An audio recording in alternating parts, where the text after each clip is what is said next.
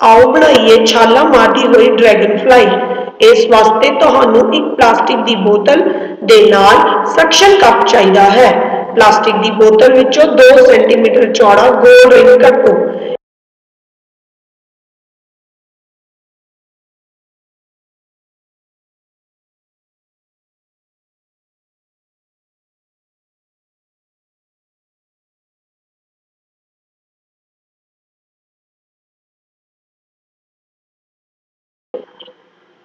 ਇਸ ਗੋਲ ਰਿੰਗ ਨੂੰ ਦੋ ਬਰਾਬਰ ਦੇ ਹਿੱਸਿਆਂ ਵਿੱਚ ਕੱਟੋ, ਇਸ ਦੀਆਂ ਨੁਕਰਾਂ ਤੇ ਰੰਗੀਨ ਟੇਪ ਚਿਪਕਾਓ, ਫਿਰ ਇਹਨਾਂ ਨੂੰ ਇੱਕ ਦੂਜੇ ਦੇ ਉੱਪਰ ਕ੍ਰਾਸ ਦੇ ਆਕਾਰ ਵਿੱਚ ਰੱਖੋ। ਇਸ ਦੇ ਵਿਚਕਾਰ ਕੈਂਚੀ ਨਾਲ ਛੋਟੀ ਜਿਹੀ ਮੋਰੀ ਕਰੋ, ਫਿਰ ਇਸ ਦੀ ਮੋਰੀ ਦੇ ਉੱਪਰ ਸਕਸ਼ਨ ਕੱਪ ਰੱਖੋ।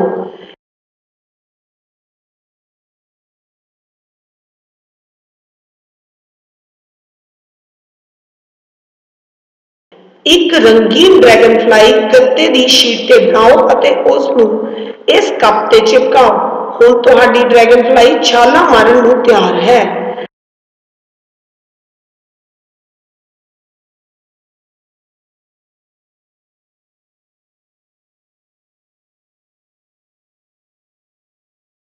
ਇਸ ਨੂੰ ਇੱਕ ਪੱਧਰੇ ਫਰਸ਼ ਤੇ ਰੱਖੋ, ਦਬਾਓ ਅਤੇ ਵੇਖੋ ਕਿ ਕਿਸ ਤਰ੍ਹਾਂ ਹਵਾ ਵਿੱਚ ਉੱਡਦੀ ਹੈ। ਡਰੈਗਨਫਲਾਈ ਦੀਆਂ ਸਪ੍ਰਿੰਗ ਵਾਲੀਆਂ ਲੱਤਾਂ ਇਸ ਨੂੰ ਉੱਪਰ ਨੂੰ ਉਛਾਲਦੀਆਂ ਹਨ।